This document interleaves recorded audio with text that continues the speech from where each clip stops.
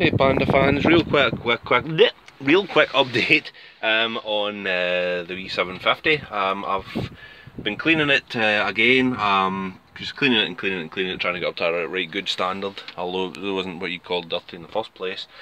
However, uh, yeah, it's looking great. I'm just trying to think what I've done. I've cleaned up this, I took this bit of trim off yesterday. I've never managed to get these to stick back down again properly on other cars, so I'm going to come up with a different solution for that uh, and see what can be, can be done about that at a later stage. Sorted out the rust patches on the bottom of the doors uh, to the best of my ability. At least they're not rusty anymore. Um, yep, same on, same on that side. Also done a bit of the paint on the roof there and on the bonnet then on the boot there. So it's looking good, really really pleased with it. Um, and uh, yeah, I'm just going to keep working on it and just getting up to good standard. Thanks very much guys.